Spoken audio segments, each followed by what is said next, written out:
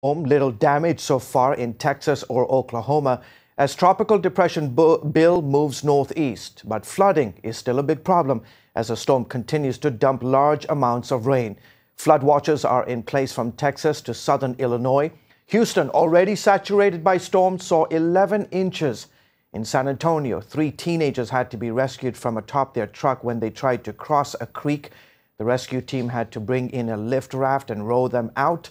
The good news is the system is starting to die down. Still, multiple warnings remain in effect.